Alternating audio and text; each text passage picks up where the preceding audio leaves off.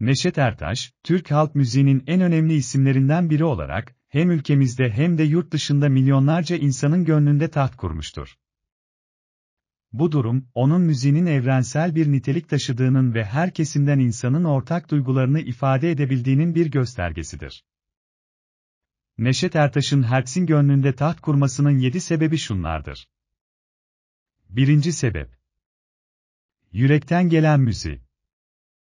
Neşet Ertaş'ın müziği, samimiyeti ve içtenliğiyle öne çıkar.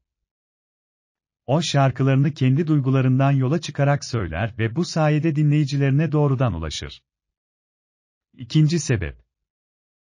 Derinlikli sözleri. Neşet Ertaş'ın sözleri, insanın iç dünyasını yansıtan derinlik ve incelik taşır. Aşk, ayrılık, gurbet, hüzün gibi evrensel temaları ustalıkla işlemiştir. Üçüncü sebep. Duygusal yorumu. Neşet Ertaş, şarkılarını duygusal bir yorumla söyler. O sesiyle ve sazıyla dinleyicilerini hüzünlendirebilir, sevindirebilir, düşündürebilir. Dördüncü sebep. Zengin müzik kültürü. Neşet Ertaş, Türk halk müziğinin zengin birikimine sahiptir. Bu birikimi ustalıkla kullanarak, özgün ve yenilikçi bir müzik anlayışı geliştirmiştir. Beşinci sebep. İnsancıl mesajları.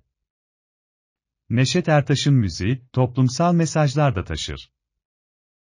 O şarkılarıyla sevgi, hoşgörü, barış ve kardeşlik gibi değerleri savunmuştur. Altıncı sebep. Özgün kişiliği. Neşet Ertaş, kendine özgü bir kişiliğe sahiptir. Halkın içinden gelen, doğal ve samimi bir insandır.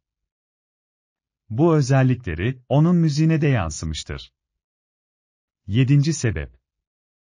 Kültürel miras. Neşet Ertaş, Türk halk müziğinin yaşayan bir hazinesi olmuştur. O bu müziği gelecek nesillere aktararak, kültürel bir mirasın korunmasına katkıda bulunmuştur. Neşet Ertaş, 2012 yılında vefat ettiğinde, sadece Türkiye'de değil, tüm dünyada büyük bir üzüntüye neden olmuştur. O Türk halk müziğinin unutulmaz bir ismi olarak, her zaman gönüllerde yaşayacaktır.